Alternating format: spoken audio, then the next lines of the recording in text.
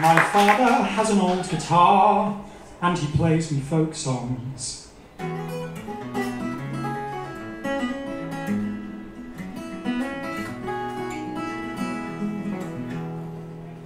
My father has an old guitar and he plays me folk songs.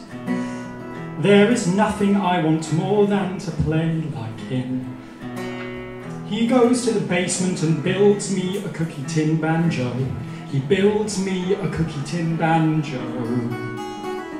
The strings are made of rubber bands, the strap is an old red necktie, the body is the big round lid of a metal cookie tin. When he plays his old guitar, I play my cookie tin banjo, play my cookie tin banjo, ride along with him.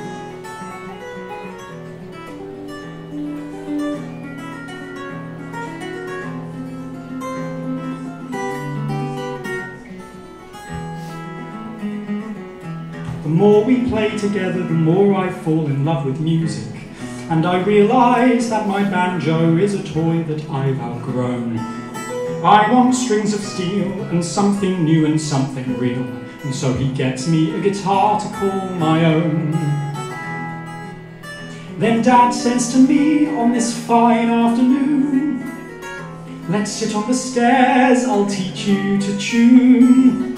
He hands me a pick, one that's little and black. He shows me the G chord. I've never looked back now. Buried somewhere in a closet is my cookie tin banjo. In my arms is my guitar, my greatest source of joy. For the life that I have now, I'm grateful to my father, who gave the gift of music to his boy. It started with a simple homemade toy.